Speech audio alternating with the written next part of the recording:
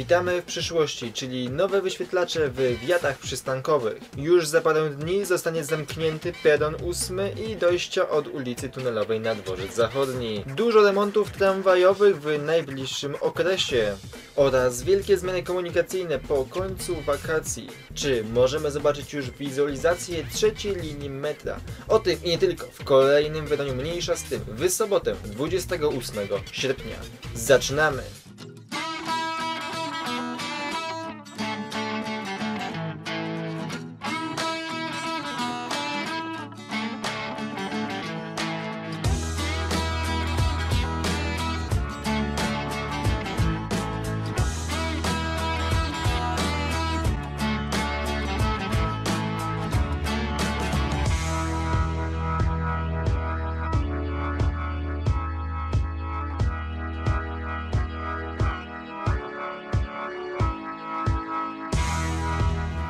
Witam was tutaj, cześć Tanzosz i zapraszam was już teraz na kolejne wydanie Zmniejsza z tym. Dziś wersja wyjazdowa, jak widzicie jestem na swojej działce, też bardzo telewizor, fotel do bujania i inne rzeczy, więc trochę inaczej może mnie być słychać. Mikrofon też przestawiłem, żeby było lepiej mnie na pewno słyszeć, miejmy nadzieję, że będzie lepiej, to napiszcie w komentarzach. E, No i musiałem się inaczej ustawić, bo jest mniejszy fotel. Ale tak czy siak zaczynamy od awarii wind na stacjach meta. I co możemy zobaczyć? Ano bieda, tylko trzy windy nie działają. Ale i tak, nie jest źle, bo Ratusz Arsenał i Wilenowska to są awarie wind stricte. Natomiast na Racławickiej mamy zmiany mm, w postaci modernizacji cały czas tej oto jednej e, windy. Idąc dalej możemy zobaczyć, iż niemal połowa już torowiska na Metro Brudno została ułożona. Oczywiście nie mówię o samej stacji Metro Brudno, o całym odcinku Brudno, Zaciszek i Kondatowicza. Tak wiem, tam nazwy też się mogą zmienić, więc C21, C20 i C19 E, No i tam prace idą dosyć mocno i do przodu. Wy wczoraj mogliście najprawdopodobniej zobaczyć jako odc- odcinek z metra na Abemowie, a tutaj też się trochę dzieje. Macie teraz wam się powinny wyświetlić zdjęcia, jak to wygląda mniej więcej. No i tak, ewidentnie idą prace tutaj do przodu, to można zobaczyć. Yy, Na dole to całkiem ciekawie wygląda. Tunele jak są już czyste, tak wiecie, zrobione z torowiskiem i w ogóle, to bardzo według mnie ładnie wyglądają. Oczywiście nie muszę przypominać, że to jest projekt współfinansowany ze środków unijnych. Więcej o Metro Brudno dowiecie się w drugiej połowie e, września, gdyż wejdziemy sobie na stację budowy i zobaczymy ją prosto z podziemi, więc będzie dosyć ciekawie. Tak samo będzie na Bemowie, ale Bemowo będzie trochę wcześniej. Więc idąc dalej, możemy zobaczyć, iż cudo, po prostu jak ja to zobaczyłem, powiem wam szczerze, to ja myślałem, chwila, czy jak gram w Detroit, taka gra na PlayStation, w której się gra właśnie w Detroit, chodzi androidami i innymi rzeczami, i to jest miasto przyszłości. Miasta przyszłości. Nie wiem, tam jest chyba 2040 któryś i, i Warszawa do tego momentu już dochodzi właśnie. Na przystankach autobusowych pojawiały się wyświetlacze w wiatach przystankowych. Może rozumiem, to może nie brzmi jakoś odjechanie, wiadomo, reklamy i tak dalej, ale jednak wyświetlacz, który jest w wiacie, który pokazuje nam dokładnie w danym momencie, gdzie jest autobus. E, To dosyć ciekawe. Nie pokazuje nam za ile przyjedzie, to trochę minus, ale jednak to gdzie jedzie, to gdzie aktualnie jest na mapie jest i tak całkiem nieźle, biorąc pod uwagę, że czasami aplikacja Bus Live ma przerwę techniczną lub zatem nie wysyła informacji, więc nie jest źle. Przy okazji będzie pokazywać pogodę, reklamy i inne ecie-pecie. Ma prawdopodobnie też działać, chociaż sądzę, że na pewno będą już, już się przygotowuje jakaś grupa na Facebooku, sekcja niedziałających wyświetlaczy ZTM, będą mediawka. Yy, No i tak, co możemy zobaczyć, na jakich przystankach to będzie się znajdowało? Na przystankach mm, autobusowych na, razie- na początek, czyli Centrum 01, Marszałkowska, czyli Centrum 01 przy ulicy Marszałkowskiej, Królikarnia 02, Zajezdnia Wola 0306, Muranów 03, Kapitulna 01, Piękna 03, Mokotowska 02 mm, i mamy jeszcze Wiejska 01. Także to są aktualne przystanki. Może jeden z nich jest tramwajowy albo więcej, nie wiem. Nie znam się dokładnie na numeracji 01, 02, 03, wybaczcie mi. Wiem, że tylko centrum ma jakieś najbardziej odjechane numeracje, przy tam jest 50 ileś nawet w, centrum, ale tak czy siak, jest dosyć odjechana numeracja co do tych przystanków. Ważne, że da się znaleźć swój dokładny przystanek, wpisując wyszukiwarkę, e, ale na pamięć się ich nie pamięta oczywiście. Także dobrze, że takie rzeczy się tutaj pojawiają. Miejmy nadzieję, że to będzie tego coraz więcej. Mamy dużo informacji, więc lecimy dalej. I do tego teraz mamy sondaż, y, mniejsza z tym, czyli wydaje mi się właśnie o te wyświetlacze. Zdziwiłem się, bo nie jest jednoznaczna odpowiedź, w sensie myślałem, że będzie całkowicie wszyscy prawie na tak, a jest tak mniej więcej mm, po środku. No i tak, mamy, czy są potrzebne nowe ekrany na przystankach warszawskiego transportu publicznego, które wyświetlają lokalizację pojazdów, pogodę i nie tylko. Tutaj oczywiście podałem zdjęcia. Y, No i tak, na 232 głosy możemy zobaczyć, iż 68% z Was zagłosowało na tak, że są potrzebne te wyświetlacze, a 24% na nie i 8% osób nie wiedziało, jak odpowiedzieć. To jest dosyć ciekawe, bym Wam powiedział. Mm, Według mnie powinno być ich coraz więcej, głównie na przystankach w centrum mimo wszystko, ale ich powinno być coraz więcej, rozprzestrzeniać się, żeby przystanki też były poświetlane. Przy okazji tam nie wiem, czy widzieliście, też będą ładowarki USB będą w tych wyświetlaczach, więc to jest też na plus. E, No i miasto przyszłości, tak? Stolica e, Polski, dużego kraju powinna iść do przodu, a takie przystanki to naprawdę ładnie wyglądają. Dobra, idąc dalej. mm, Warszawa Zachodnia. No tak, zamykamy peron ósmy i dojście od, ulic, od właściwie dzielnicy Wola na peron zachodni. Mm, Aktualnie powinna się teraz wyświetlić mapka, jak można z przystanku kolejowego Warszawa Wola dotrzeć do właśnie zachodniej no, autobusem i to się jedzie dosyć długo, bym, bym powiedział, bo to jest parę przystanków niestety. No ale jest to najkrótsza droga, niby 8 minut się jedzie dojazdem. Peron 8 jest na aktualny okres zamknięty, dopóki nie zostanie otworzona kładka. To trochę długo. Yy, I tak samo będzie brak dojścia od pętli autobusu 103 od tunelowej i po prostu autobus będzie jeździć cały czas tam, kończyć swój bieg. Yy, To dobrze, bo będę mieć jak dojechać na plac budowy, jak tam czasami wchodzę do nich. Natomiast z drugiej strony yy, po prostu nie ma dojścia yy, od tej strony na dworzec zachodni przez najbliższe parę miesięcy. No cóż. Miejmy nadzieję, że dosyć szybko zostanie otwarta kładka i wtedy będzie lepszy przegląd. E, Tutaj macie jeszcze pewnie widzieliście już przed chwilą mapkę od WTP, które też stworzyło swoją własną mapkę. No i mapka jeszcze idealnie od ZDM-u. Każdy musiał swoją własną mapkę stworzyć. No przecież jak, jak z takiej okazji można by nie skorzystać. Dochodzimy do WTP. E, I tu mamy parę zmian jeszcze właśnie a propos zachodniej. Po pierwsze będą zmiany przy liniach kolejowych SKM-ki, S3 i S9, bo jeszcze są zmiany przy Warszawie Targówek. Przy Warszawie Targówek głównie są zmiany godzinowe, a co do innych y, obiektów tutaj, no to do, do zachodniej nic nie dojeżdża. Pociągi będą kursować tylko do Warszawa Wola, ale konkrety możecie zobaczyć sobie na, na poszczególnych liniach, jak Was to interesuje. Na pewno są zmiany. S9 zostaje, z tego co pamiętam, zawieszone do odwołania póki co. Także tak to wygląda. Przy okazji e, punkt kodowania biletów w Otwocku został uruchomiony.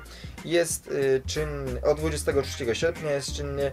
E, no i jest czynny tam w godzinach 10, 18 lub 8, 16 do wyboru do koloru. E, Ptacy tramwajowe na rondzie Żaba. Tutaj w aktualny weekend, ten, który jest dzisiaj, możecie zobaczyć, iż linia 1 jeździ trochę inaczej, na okrągło. C- Z kolei linie autobusowe 409 pie- i 500 będą dodatkowo zatrzymywały się na przystankach na żądanie Ronda Starzyńskiego. To dobrze, bo to w sumie pomoże trochę, jak zamiast jechać jedynką na tej trasie. No i nasza jedynka oczywiście będzie jechać tam po prostu trochę na okrągło, przestargowo, ale będzie wracać na swoją trasę, więc tutaj dużych utrudnień w teorii nie ma, w praktyce no jedziesz na okrągło, ale dojedziesz. A to jest najważniejsze. E, No i mieliście tutaj pewnie też przed chwilą widzieliście zdjęcie, który po prostu obiekt lotniska jest remontowany. Otwieramy popy, mm, więcej popów działających, a mianowicie metro Rondo ONZ i Służew wracają do użytkowania. E, idąc dalej, możemy zobaczyć, iż będzie zamknięty nasz most Marii Skłodowskiej-Curie, czyli most północny, po którym jeździ tramwaj linii 2 i 17. 17 będzie jeździć na kursie skróconym do AWF-u, do pętli, tej małej, która jest uruchomiona bardzo rzadko. E, I tak samo będzie rzadko jeździć jeszcze tutaj w tym wypadku. E, Szóstka. Po prostu tam są zmiany z tego co rozumiem na tym torowisku na dole, co jest ten wielki rozjazd koniczyna tam tramwajowa. I dwójka będzie zamknięta. To będzie się odbywać 31 sierpnia w godzinach 10.30, 13.30. E, Ciekawe w sumie co tam będzie przypinane, bo to jest chwilę przed otwarciem tramwaju na Winnicę, o czym jeszcze dzisiaj na pewno powiem. E, No i będzie wtedy jeździć wydłużona linia autobusowa Z2 z nowodworów do Mo- metra Mociny. E, No i będzie Z6 też tutaj na podobnym odcinku od metra Mociny do, Żeremskiego. Także spokojnie sytuacja będzie opanowana. E, Idąc dalej możemy zobaczyć, iż są zmiany na powstańców śląskich. Będzie otwarta druga jezdnia, to co mogliście usłyszeć z mojego odcinka. E, No i tramwaje wracają. Tutaj to po kolei będzie szło, bo najpierw mamy 28 sierpnia będzie demontowana nakładka umożliwiająca zmianę kierunku linii 26 i tam będą lekkie objazdy. Z10 i linia tramwajowa 40 zniknie, 10 i 26 wrócą na mniej więcej stare trasy, autobusy też wracają na swoją starą trasę. Także tutaj to dosyć ciekawie robione. Przy okazji są zmiany dla linii 13, 23 i 20, ale o tym za chwilę, bo tutaj też jest dosyć ciekawie poprowadzone. No i właśnie o tym chciałem Wam powiedzieć. Na obozowej kolejny remont torowiska. Tym razem obok naszego Instytutu Elektryki. Yy, No i tutaj po prostu całkowicie torowisko jest w remoncie, tam jedna jezdnia trochę jest zwężona i tak dalej. Co jest ważne, to te tramwaje tutaj nie będą jeździć w ogóle przez nasze koło prawie i dwudziestki nie będzie w tych dniach. Mm, Jakich dniach tutaj mówię, bo to jest dosyć chyba ważne.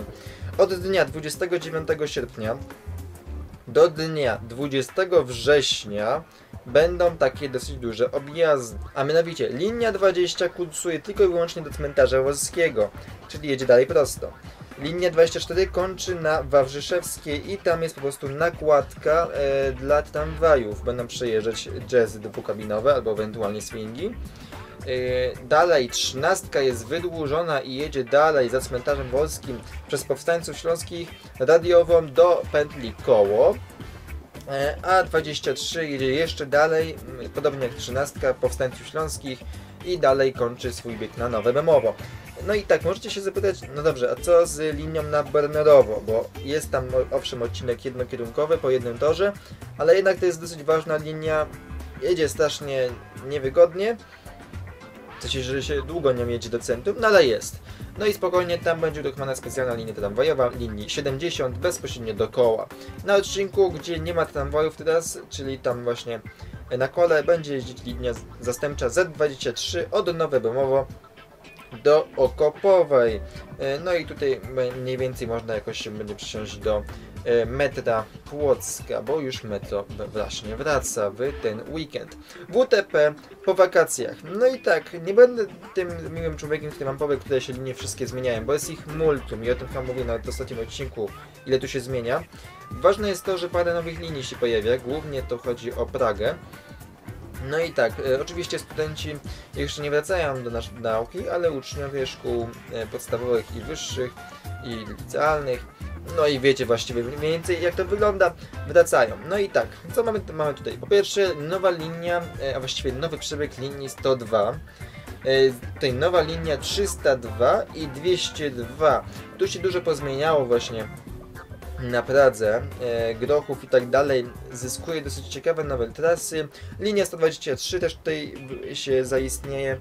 E, No i nowe pętle, nowe odjazdy, dojazdy, bo tam jest coraz więcej tych osiedli i właśnie ZTM się do tego przygotowuje i przystosowuje, aby to coraz lepiej e, było skomunikowane w tymże rejonie i bardzo dobrze, ale niedługo też tutaj będzie powstawać nowa stacja, o której z Sykutem pewnie we wrześniu jakoś powiem, bo teraz w tym miesiącu było mało Sykuta, bo wiecie, raz ja jestem w domu, w Warszawie, Raz sekund gdzieś jest i tak nas przemiennie, zwy- zazwyczaj nie mogliśmy się zbytnio spotkać. Dobrze, dojdźmy sobie do ZDM-u, tu przejdźmy w miarę szybko przez ZDM mimo wszystko, gdyż mamy tutaj informację i skrzyżowanie Marszałkowskiej i Królewskiej jest już aktualnie asfaltowane, macie następujące zdjęcia, możecie zobaczyć jak to wygląda. Cały czas są objazdy, ale już niedługo powinno sytuacja być opanowana, także to jest tutaj dobrze. Idąc dalej możemy zobaczyć, iż są wyznaczone nowe buspasy na Bitwie Warszawskiej 1920 na odcinku mniej więcej od Warszawy Zachodniej e, do e, tutaj dojazdu do Alei Krakowskiej, także tak to mniej więcej wygląda.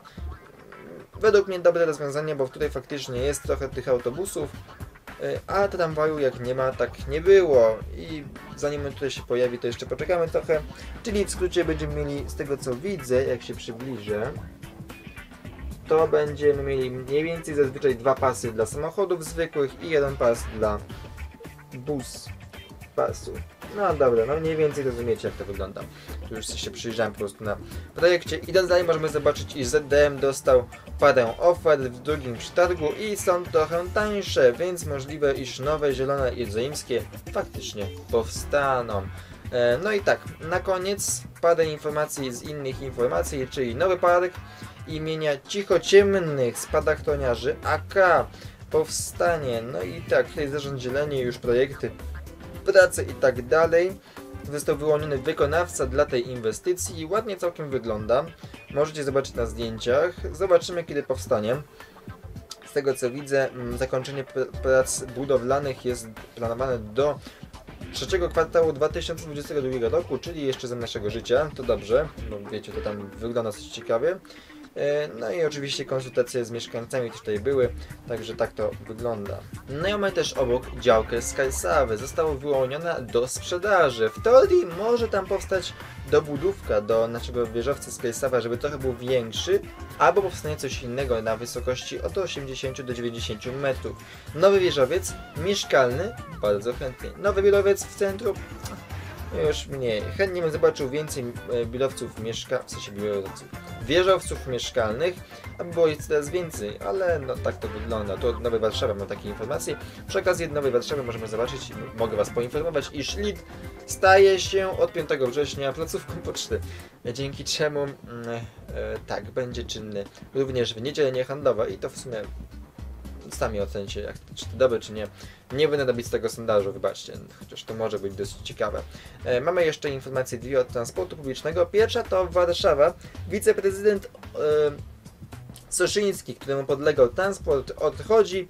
E, możliwe, coś tutaj niektórzy mówią, iż był hamulcowy na niektóre inwestycje. Może trochę przyspieszymy z inwestycjami, głównie tramwajowymi, bo one faktycznie się idą ślamazarnie, ale wiemy też niestety, iż część inwestycji tramwajowych, które mają dofinansowanie unijne, będzie bardzo szło pod sam koniec y, terminu y, dofinansowania unijnego i możliwe, iż będą problemy finansowe, ale miejmy nadzieję, że tak się nie skończy. Tak jak mówiłem już ostatnio, pod koniec tego roku dowiemy się więcej informacji, albo na początku przyszłego. No i na koniec informacja od Meta, chciałem Was tak trochę przytrzymać, czyli spójność, funkcjonalność i warszawsko-praski charakter.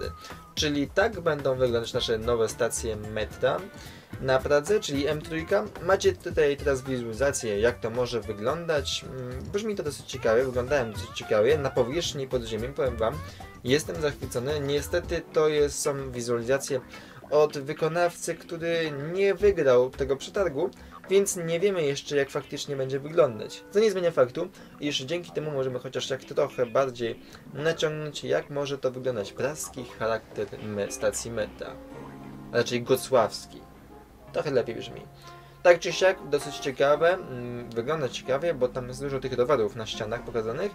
No a jak będzie wyglądać faktycznie M3, to miejmy nadzieję, że we wrześniu uda mi się w końcu wystartować z tą serią trzecia linia meta. O której tutaj już nie jeden raz mówiłem, tak samo jak metro, kierunek wi- y, metro.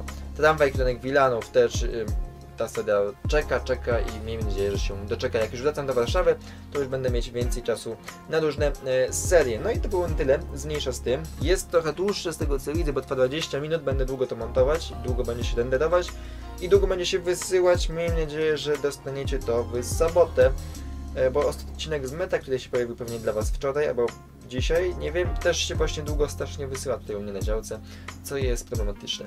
Tak czy siak, jeśli Wam się podobało, zostawcie łapkę w górę. Jeśli chcecie zobaczyć więcej materiałów, kliknijcie subskrybuj i kliknijcie dzwoneczek. Przy okazji możecie zobaczyć teraz tutaj wspierających na mnie, jakoś tak mniej więcej to się wyświetla. E, To są aktualnie wspierający, którzy wspierają mnie tutaj, mój kanał rozbudowy. Teraz rzadziej widzieli właśnie materiały przedpremierowo, dlatego już jestem na działce i tutaj montowanie, a właściwie wysyłanie jest tak wolne, iż trwa cały dzień odcinki wysyłam części. Co w przyszłości się pojawi w najbliższych dniach na kanale? Na pewno winnica, o której nie powiedziałem dzisiaj, to tylko dopomknę, iż będzie otwarta na pewno właśnie w nowym miesiącu, czyli we wrześniu e, będzie prawdopodobnie może nawet live z Sykutem. Zobaczymy jak to zrobimy. Na pewno tam będę oczywiście, bo otwarcie winnicy jest rzeczą ważną. I pewnie po tym momencie, po tym filmie pojawi się podsumowanie całej inwestycji z wszystkiego, co tam się działo na winnicy, bo jestem, jestem, ja jestem ciekawy, jak to wyglądało, a byłem od samego początku budowy. A w najbliższych dniach pojawi się jakiś odcinek o powązkach, e, na pewno. E, No i może w końcu 360 metro. Zobaczymy. Postaram się coś dla Was jeszcze wrzucić, bo więcej muszę pójść teraz odcinków, bo tak jak mówiłem, studia, studia i studia, a później będzie mniej czasu. Do zobaczenia już wkrótce w kolejnych materiałach na moim kanale. Kolejne mniejsza z tym już w roku szkolnym, ale nie jeszcze dla mnie studenckim. Będzie jak zawsze. Powinno być za tydzień w sobotę. Do zobaczenia już wkrótce. A wstrzymałem was chwilę. Cześć!